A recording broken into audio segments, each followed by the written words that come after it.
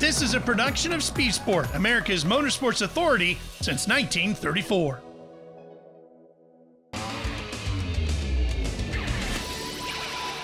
Hi, everybody. Welcome to the Geico 15 Minute Moto Show. I'm your host, Ralph Sheheen. We're here at West Coast Choppers in Austin, Texas, with my good buddy, Jesse James. Jesse, when I think of you, I think of artist, craftsman, metal worker, custom bike builder, firearms maker, culinary designer. What do you consider yourself? I don't know, just broke ass that wants cool stuff. like I have to learn how to make everything myself because I'm, I guess, too much of a cheap ass to buy some things, or or not really. Like I have a lot of expensive stuff, but I think stuff that I want doesn't exist, so I have to learn how to create it. And In, in all of that, where does custom bike builder now rank? Because that's really where everybody got to know you at. Well, it, I mean, you were around in the early 2000s, like when stuff was really crazy. You know, we were doing like 10 bikes a month. Now we do about three a year. And I kind of pick and choose my jobs and only do the stuff that I want to do, you know, and stuff that, you know, we were taking everybody's money back in the day and trying to crank as much stuff out as we could. And now, and uh, at the same time, the bikes that I built for myself, like the copper bike and different, they were always way better than the kind of customers' bikes because I didn't really care about time or amount of labor or what it costs to do it. So now every bike I build is kind of like that, you know, and it's smaller scale. I mean, I'll still, motorcycles are still first and foremost in my life. And I live in an amazing place where the riding's just awesome. How much has the request of the customer, especially like with the bikes, um, we, you know, bikes tend to go through a lot of fads. Um, since I've known you, obviously the, the big, long, old school style chopper was a huge rage for quite a while. Uh, now we got the baggers with the huge front wheels, and then performance baggers are coming around. What do you see from the customer in the custom bike world these days?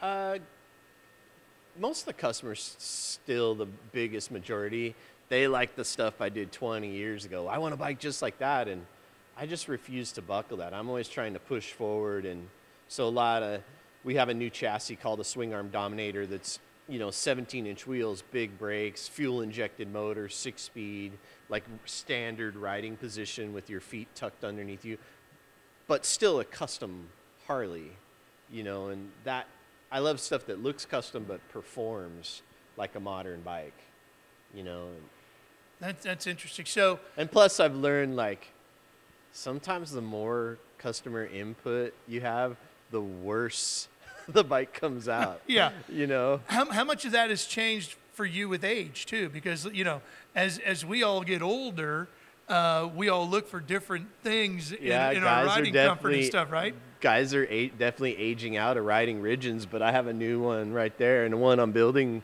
rigid for myself, and it's I, I still like it better. I still love to ride a rigid. You know, it just after 100, 120 miles, you're ready to get off for a minute. but if it's set up right and it's a good balanced bike and good front suspension that doesn't counteract having no suspension, it's they're really fun to ride. So. yeah is is that still the biggest thrill for you just to be out the pure freedom of riding Yeah, riding or taking one of my hot rods out. It's just here, you're never in LA, you're never not around people or other cars, which is fine if you're building something, you want to show it off. But man, it's something cool about taking my 32 Ford Roadster and just banging gears down some country road and never seeing another person in another car.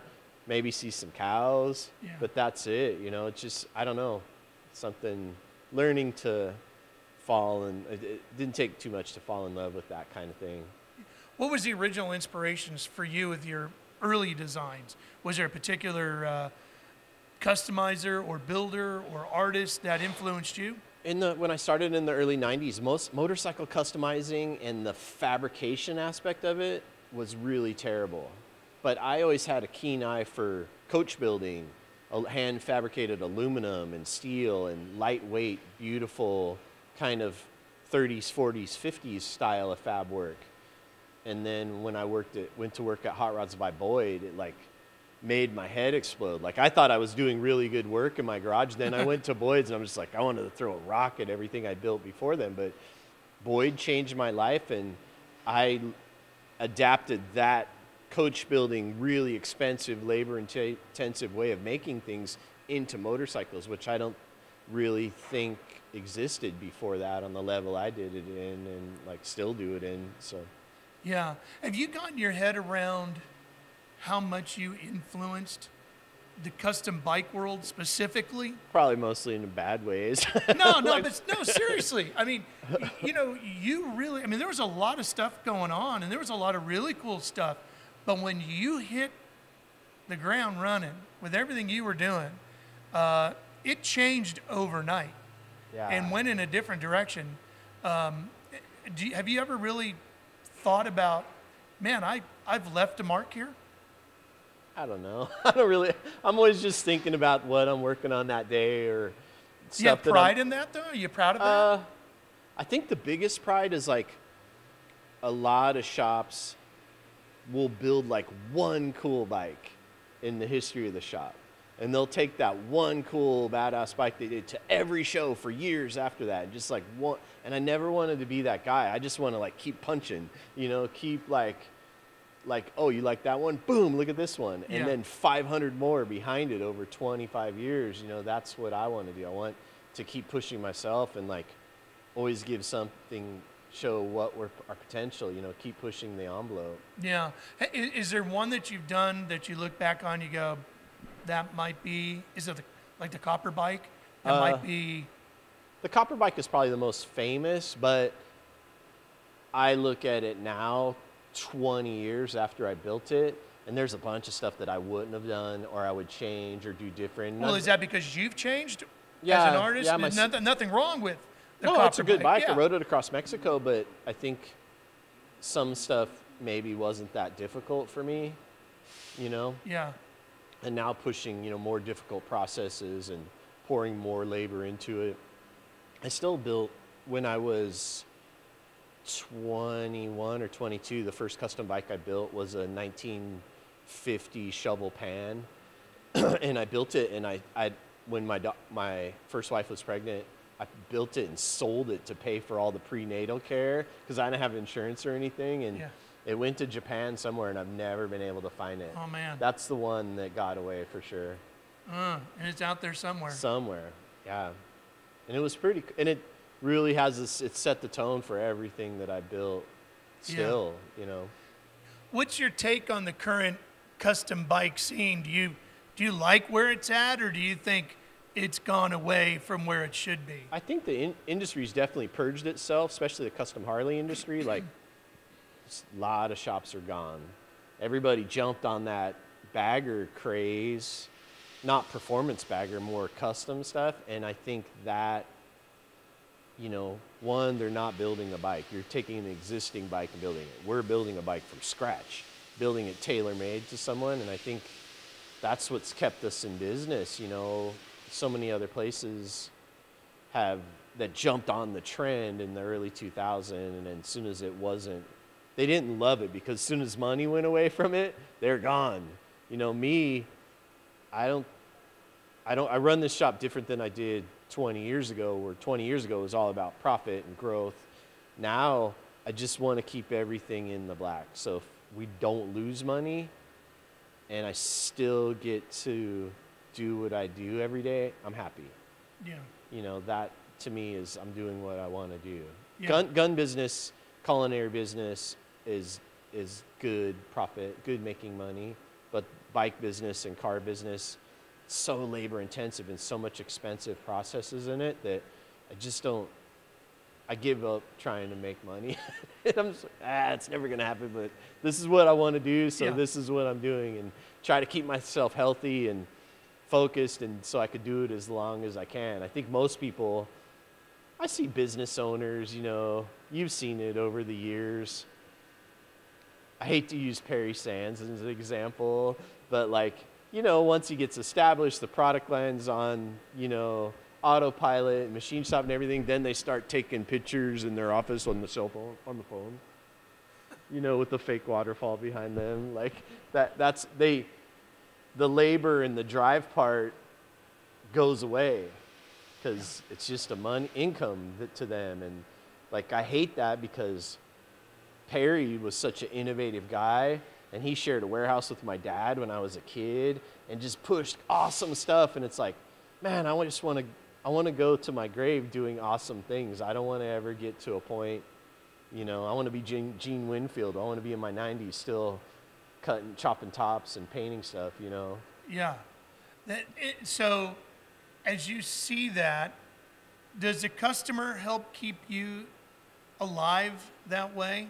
Because customer comes in with an idea, or they just come to you, hand you a bag of money, and say, "Make me a Jesse James bike." the customers fuel it for sure because it's such a personal relationship between myself and my customers that like I'll like like if I hate you, I can't physically make my hands work on your stuff. Like it just it puts this mental block. But if I love a customer and we hang out and like some of our customers one of our good customers came down with us to the Texas Mile just to watch. And his I just love being around that dude. And such a good dude. So when it comes to working on his stuff, like I'm gonna push myself extra hard to like blow that guy away, you know, and that it's kind of a, a you know, it just everything works together in that triangle the shop myself and the customers you know? Has there ever been a customer that's come to you with an idea that you just went, "I don't know if we can do that"? all the time. Really? yeah i say no more than anybody i think because people can see only what's out there what's on instagram or what they can google. They can't see what's in my head or what our capabilities are. You know you can't see a capability. You can only see the stuff we did before but we're always pushing and learning and going for the next thing you know Is there uh, the Choppers for Life logo? You still live by that mantra? I think so. I'll always have a rigid. Always, I got like one, two, three, four, five. Five of those bikes are mine, and they're all rigids. What What is it about that that just hit hit something in your soul? I don't know. The same thing about guys out at Moto America riding an uncorked R1. Most people would see that and go, "Ooh, that's scary. I would never do 190 down the straightaway." Same thing with the rigid. They see no suspension, little seat, and like, "Oh, that just hurts my back by looking at it." you know, Yeah, like yeah. that stuff makes me want to do it more. Oh, that's that's pretty cool. So you've done a lot of amazing rides, like across Mexico on the the copper bike and so forth. top of the Arctic Circle. Yeah, is there one of those that you're dreaming of? Uh, I got an offer to go from being from rock and roll touring with bands. Uh, the surgeon, who's Putin's bodyguard, Yeah. used to work for me in Germany. He was like an assistant on some tours. And No he- way. I have an open invitation to go ride across Russia with him and his the Night Wolves is their bike club. Right. And I just thought that would be really cool because as much rhetoric, rhetoric, rhetoric there is and everything, Yeah. you've been all over the world and like people are the same everywhere. It's probably Yeah. mostly BS and like I think it would be fun. What would you take for that? A rigid. You'd have to do it. So if you're going to go ride across probably- Russia, I'd would it be an all-American rigid type deal? I don't know what the accommodations or where we'd stay, so I'd probably have to take something. I could pack some stuff on. I'd probably take one of the new swing arm dominators. So Yeah. Would it be a red, white, and blue type deal? Be all Texas? nah, it'd be my style. It'd be yours. Flames. Okay. so I guess that's a really good question.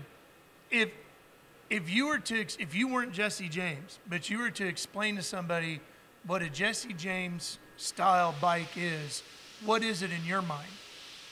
It's got to have every. It's got to have so much stuff stripped away. No covers, no extra anything. It's got to look like it won't run. There's so it's so sparse and spindly and lack of clutter that it probably doesn't work. That's to me. This is a Jesse James bike. But it works perfectly. Yep, yep. Even better because you don't have to worry about all that crap falling off. It's perfect. nice. Okay, so what's the thing that is still back in your mind that as you say, one of these days I'm going to make a what? Is it a gun? Is it a knife? Is it a bike that's still out there in your brain? I have a really great design for a stress member sport bike. I don't think anybody's ever successfully molded the V twin world with a correct like 54 inch wheelbase, perfect CG, balanced sport bike. Like Britten, uh, Yeah. Britten came the closest. Like he really did it, Yeah. but I think like choppers are cool and like yeah we can make bikes that ride great and everything but i still want to push progress and that i have this really great design in the back of my head that i really want to do one day. I mean i just think it would be to me the pinnacle of motorcycles is, is taking it to like isle of man or daytona or something like that or you know one of the club races in england or ireland you know and really doing a hand built bike that competes you know, and that to, that pushes the limit of the function. Yeah. And know. you would ride it? No, no, I'm too I'm too big. No, I would get actually. I talked to John McGuinness, Yeah. and he said he'll ride whatever I build for free. He said he would do it anytime I want, That I want to see. and he would be the perfect guy for it. You know, like totally. yeah. Totally. Thanks, Jesse. Really appreciate it, brother. It's good seeing you. We sure hope you've enjoyed this edition of the Geico 15 Minute Moto Show.